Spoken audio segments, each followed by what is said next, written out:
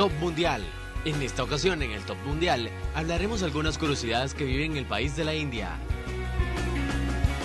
Los sadhus. Son llamados ascetas o santones en India y Nepal. Son unidos a la religión hinduista. La cuarta fase en la vida de hindú.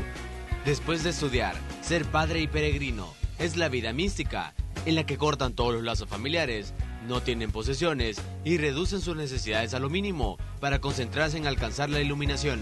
Depende de la caridad de la gente para subsistir, pues no pueden trabajar, y las donaciones que se les hacen son consideradas como ofrendas a los dioses. Kumbh Mela es una de las fiestas más concurridas del mundo hindú. Celebra cada 8 o 12 años a la orilla del río Ganges, cuyas aguas se crecen.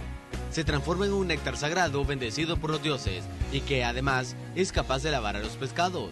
Los hindús creen al sumergirse en las aguas y sus 88 generaciones quedarán al sueltos de todos sus pecados. El Templo de Oro. Ese templo es para muchos uno de los más bellos de India, comparable al mundialmente famoso Taj Mahal. Entre los indios, los templos siguientes llamados así por un personaje histórico que sus seguidores respetaban.